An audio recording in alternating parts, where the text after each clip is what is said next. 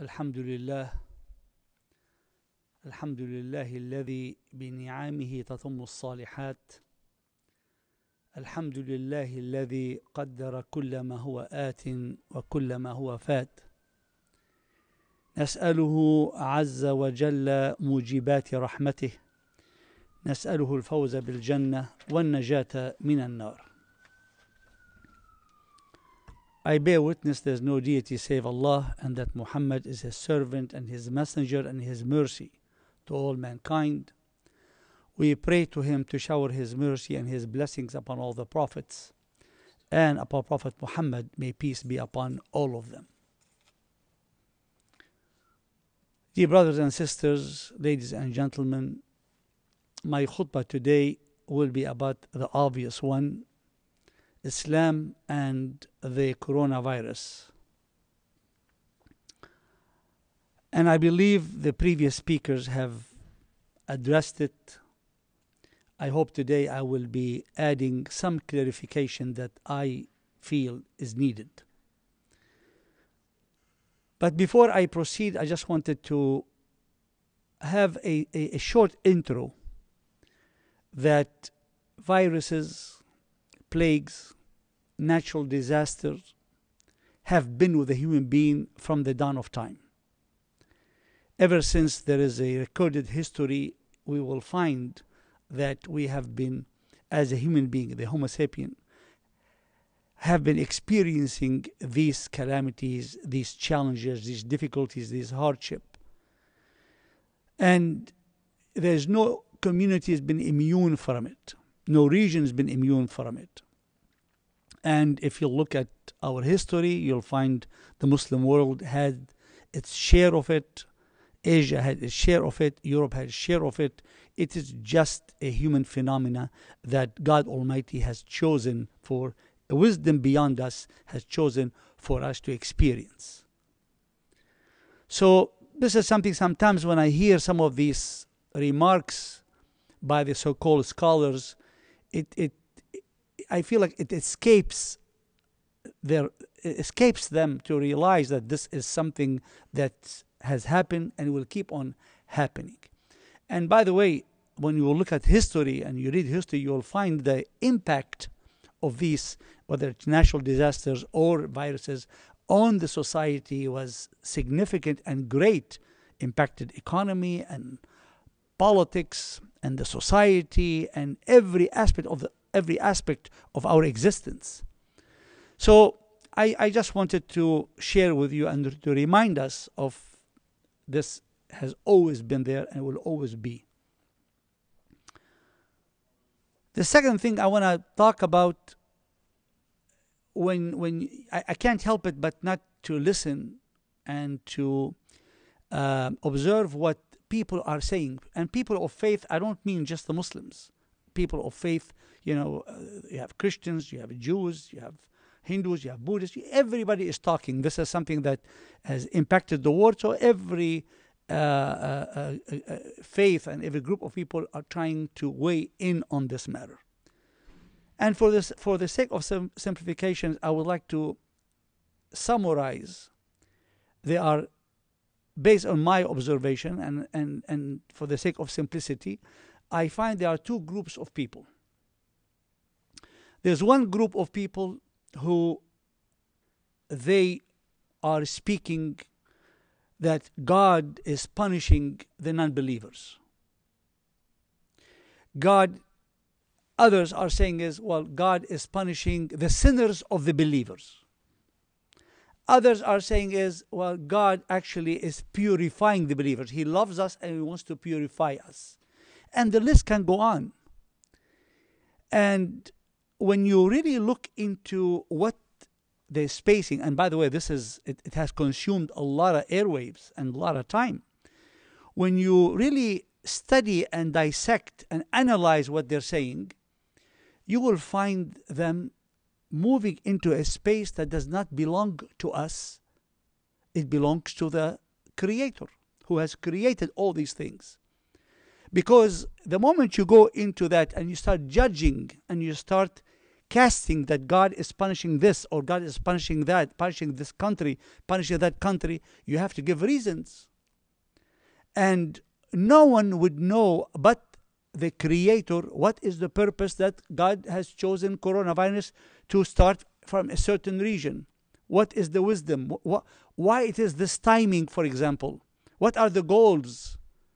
Right? So there's a list of questions that we cannot answer it. This is out of our hand. We ought to be humble and we need to realize this is out of our hand and this belongs to the Creator.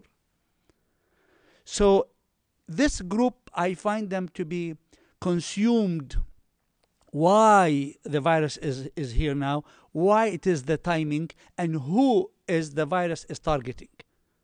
And all of them, it is out of their hand. So I believe it is honestly squandering an, an, an opportunity, squandering uh, uh, the, the, the, the, the, role. What is the role which I'll come to in the second group of people? So that is the first group of people that unfortunately you hear a lot uh, people from that group talking on TVs or on uh, social media and so on and so forth. This, however, there is a second group of people, and the second group of people, I believe, what they are focused on, they are focused on what can we do, what can we do to face this virus.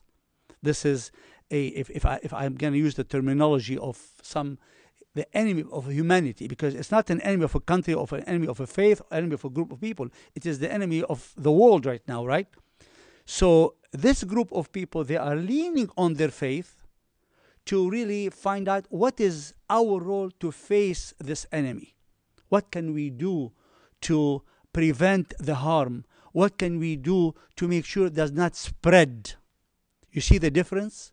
The first group is focused more on why and who, which is out of their role as a human being, and this is not their space. The second group is more focused on what can we do to prevent and to uh, uh, uh, uh, shield and to bring solution and to make sure that this doesn't spread and bring more harm to humanity and to themselves and to their communities. So these are the two groups of people that I believe, brothers and sisters, they are out there uh, in this dire time. And, and, and, and I hope that we realize that the first group of people, it is they are out of their space. That space does not belong to them. That space, why, and the wisdom and uh, uh, and, and, and, and what are the goals, all these things belongs to the Creator. I rather that we focus on the second group of people that they are what what is our contribution? What is what my faith guides me to do as I am facing this uh, uh, this this this difficult virus, as we all know, and we keep on hearing about it almost every minute of the day. So these are the two things, brothers and sisters, that I wanted to start with. Now, obviously I so I, I I belong and I believe the second group is the group that Islam advocates. Islam wants us to be part of the solution. Islam wants us to contribute a, a defense line against that enemy that is really impacting humanity at large. So, what so here now we go back to Islam, right? And there's an article that I hope all of you had the chance to read it, if not to read it. It was in Newsweek, I believe, about a week ago. Um, and that article is talking about how the Prophet Muhammad وسلم, balanced between faith slash prayers and between reason. And the article talked about, which I will touch on, on, on some aspects of it. Um, the first thing is when we when we find, and, and this is very important to really, because when we talk about Sharia, we keep talking about Sharia a certain aspect of the Sharia, and they are a, a great attempt to confine the Sharia to a specific capital punishment, and when you know if, if you if you steal, your hand is cut, and if you do this, all, all these things that we all know about. For example, when here the Prophet, the Prophet ﷺ come and say that النظافة من الإيمان أو كما قال that in the heart of your faith is cleanliness. And there are so many hadith. The Prophet ﷺ would say that for, you know, you want your food to be blessed, you wash your hands before and after you eat. And there are plenty of other hadith. What this makes it, brothers and sisters, that hygiene is not something to refine us as a human being, but hygiene, based on the saying of the Prophet ﷺ, is in the heart of faith. So it is part of the Sharia. So when we are asked to uphold a good hygiene and to, you know, attend to the hygiene, and I believe we, by now we all know what, what, what, what that means washing your hands, do all the right things. We know that this is in the heart of the Sharia. It is not something that we do it just so we can, you know, look better or smell better. No, it is in the heart of the Sharia. I just wanted to make this point uh, clear. The second thing is that when the Prophet ﷺ says, and it was narrated uh, by by by Imam Ahmad wal Hakim ibn Habban that Allah ما أنزل الله عز وجل داء إلا أنزل أنزل له دواء علمه من علمه وجهله من جهله that Allah did not has not made a disease without appointing a remedy for it and of course, there is another version of the hadith that is talking about exception of one which is old old age.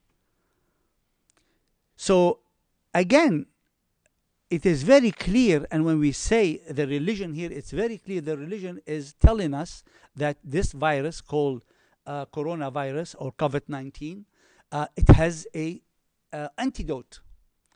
So this is the space I should invite our scientists, I should invite our specialists to really contribute to find what the Prophet ﷺ told us it has an antidote. Let's find it. We, do, we don't have, as a, as a Muslim community, we don't have to wait until others find it. I think we should also, based on, on, on, on this hadith, we should also try not to, we should, we should try to find it and, and vie with others in finding what can uh, help humanity because our Prophet told us it is there it is our responsibility to find it. So the third thing which I, I, I feel, I don't know why we, we, we are still not clear on this one. The verse in the Quran, which is, we hear it a lot, verse chapter 2, verse 195, and I'm just, وَلَا تُلْقُوا بِأَيْدِيَكُمْ إِلَى التَّهْلُكَةِ وَأَحْسِنُوا إِنَّ اللَّهَ يُحِبُّ الْمُحْسِنِينَ And let not your own hands throw you into harm or destruction, and preserve in doing good. Behold, God loves the doers of good. It's very clear. So, anytime there's a space, there's an event, there's an action that can bring you harm, you should avoid it. I mean, the simplest, the simplest is when we all know, and I think it's been written in our newsletter, and I'm sure we've heard it a lot by now, is the Prophet ﷺ said no Jum'ah because they had a storm. It was too cold. It wasn't that cold or that flu at that time. It's not going to go and kill like coronavirus is doing to people. Yet the Prophet ﷺ felt this is harm.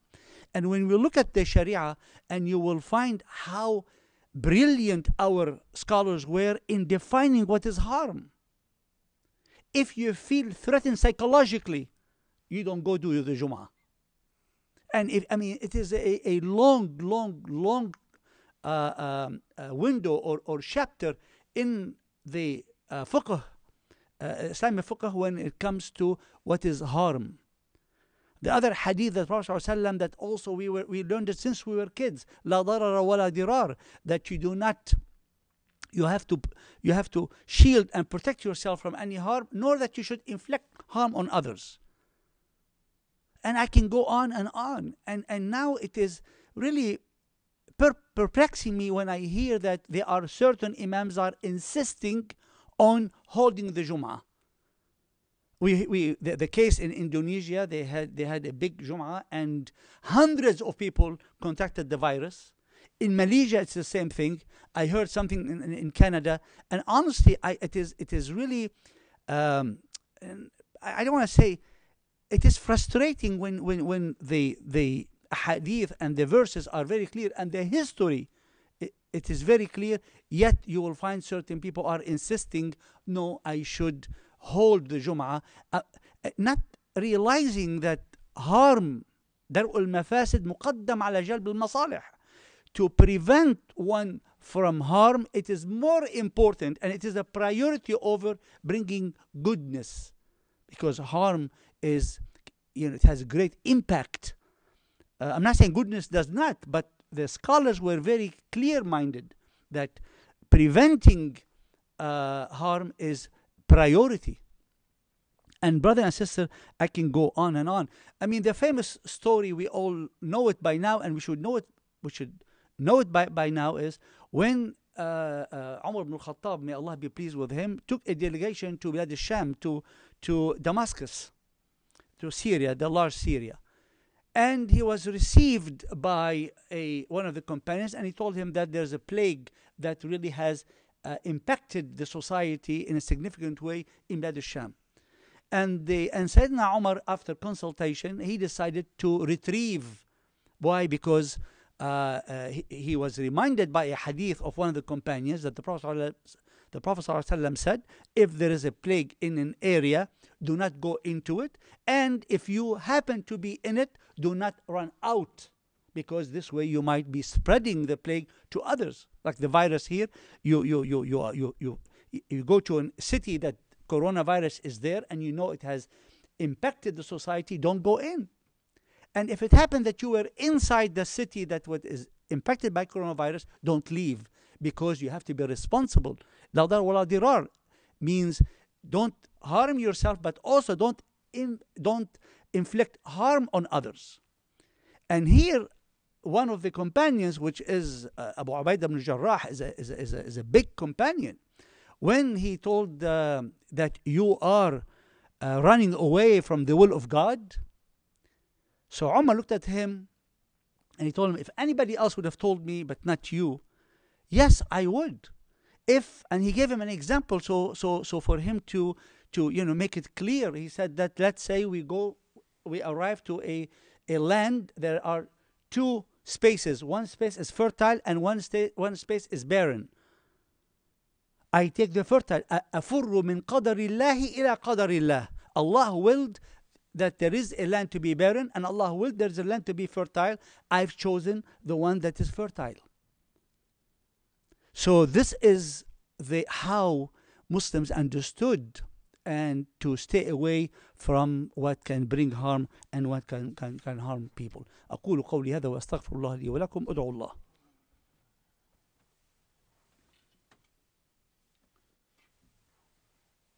الحمد لله. الحمد لله الذي كتب على نفسه الرحمة. وأشهد أن لا إله إلا الله وحده لا شريك له. وأشهد أن محمدا عبده ورسوله. إن الله وملائكته يصلون على النبي. يا أيها الذين آمنوا صلوا عليه وسلموا تسليما اللهم صل وسلم وبارك على سيدنا محمد وعلى آله وصحبه وسلم Dear brothers and sisters, in the first khutbah, I, I reviewed what our faith, what Islam advocates, admonishes, guides us to do as we face the coronavirus or plagues like it. And I think, I don't believe I've said anything that you don't know by now. And I, I really hope that you know it and you understand it and you are advocating it. Um, we all know by now this uh, famous quote, the social distance. It's common sense, right? And yet, I don't know, I still feel some people, they, they, they, don't, they, they're not getting it. When you read our history, you will find that when there's a plague like I talked about, and this plague, by the way, that hit uh, the the the Bilad Sham, the, the, the Sham area, Damascus, and all that you know, back then it's all the way Syria, Lebanon to Palestine. And when the plague hit that, that area, a lot of great companions have died. Great companions have died. So when we look at that, brother and sisters, we find that when Amr ibn al-As was leader of that area, what he said is he told people, spread, don't come together, and go into the mountain, go into an area where there's a lot of space. In other words, is disperse. Because when you're together, what's going to happen is you're going to pass on the disease. Again, common sense. Again, understanding that the, the, the, the Islam, the religion of Islam is here to protect life and to repel harms and to help people to preserve their life. So, you know, we should do whatever we can to do so. Um, I think it was covered about a couple of weeks ago. Part of our approach, brothers and sisters, is patience. You know, by the time the antidote comes and by the time the economy gets back on its feet, there are so many challenges that are facing all of us. But as the Prophet ﷺ said, that the, the beauty about our faith, the beauty about the religion of Allah subhanahu wa ta'ala, that everything that we experience is good for us as long as we are patient. As long as we don't just say why God? and what's the what's the wisdom? and why it is us? and and all these why why why all this frustration that usually emanate from the satanic whispers. We do what we have to do, as we said. We we, we, we, we, we do the hygiene and we do the, the, the, the social distance and then we'll try to find the solution and we'll try to prevent the harm, but we have to be patient as well. Last but not least, brothers and sisters, really we all have been given more time to be alone, to be alone with your family, to be at home. And this is the time where I believe that we all should cease to reflect, to reflect on our relationship with everybody around us, but more importantly, our relationship with our Creator, Allah subhanahu wa ta'ala. Because there is something that really it, it, it's hard for me to to swallow there is a those people who are up in arm complaining that the mosques have closed the churches have closed the synagogue have closed. In other words is the door to god almighty has closed. Who said that? For as far as we're concerned we know that god is everywhere God tells us, Inni qareeb, I am so close to you. I don't need to go to the mosque. Yes, the, the mosque has its place. And I want to go to, to, to the mosque and I want to be with my brother and my sisters and I want to be admonished because it is a place of purification, place of, of, of spirituality. Yes, but when that place is closed, what does that mean? God doesn't exist? Astaghfirullah. God is with you and He is close to you, then closer than your jugular vein. God is with us, He's so close to us. And the Prophet said that one of the blessings that Allah made all of earth when it is clean a place of worship. So I can pray anywhere. I can connect to God anytime. And I can get closer to God all the time. I don't need now the mosque. Yes, inshallah, it will open. It's not easy to walk in into a place that I have been coming to for 40 years and I see it empty. This is this is the will of Allah subhanahu wa ta'ala. This is happening to all places of worship. We are patient. Remember, we talk about patience? We are patient, but we should not forget that God is here, is near. So I, this is the time where and why this is important, brothers and sisters, because it is a difficult time economically, financially. Nobody is not experiencing this health wise. You are concerned, there's a fear, there's anxiety. All of these are very overwhelming, and we are human beings, we are weak. While on one hand, I know what I need to do, on the other hand, sometimes fear and anxiety can create a force that will hold me from doing the right thing. But when I am connected to God Almighty, and this is the time that we have to be connected, when I'm connected to God Almighty, this is the time where what, what He will do for you and I what Allah subhanahu wa ta'ala has done for Moses. when, when he told him, Go to Pharaoh and face the tyrant, and he told him, I am fearful of him. He said, Don't worry, I am with you. He didn't tell him, Well, you shouldn't be fearful. No, anxiety and fear, it's part of who we are. It was a part of Moses when he told God, Inni akhaf. But when you are connected with Allah subhanahu wa ta'ala, and this is the time that we are to be connected to Him, this is where we can overcome our fear, overcome our anxiety, and we can be guided with that force, the spiritual force, our relationship with Allah subhanahu wa ta'ala, to do what you heard and to guide us as we move forward to overcome the challenges and inshallah we will overcome virus and inshallah humanity will overcome this challenge. But on, on, on, on one hand we should remember and be aware what we talked about. On the other hand this is the time for us to realize that how weak we are. And this is the time to connect with our creator and strengthen our relationship hoping inshallah they can overcome vi- this virus overcome the hardship and we will come stronger and better than before أقول قولي هذا وأستغفر الله لي ولكم إني داع فقولوا آمين Let's pray to Allah subhanahu wa ta'ala to purify our hearts and our minds and to strengthen uh, to strengthen our faith. We pray to Allah subhanahu wa ta'ala to guide us so we can connect with him that in the way that pleases him and we pray to god almighty to give us the strength and the wisdom and the energy in order for us to deal with this with the, with the challenge of today in this dire time واخر دعوانا الحمد لله رب العالمين والصلاه والسلام على سيدنا محمد اقم الصلاه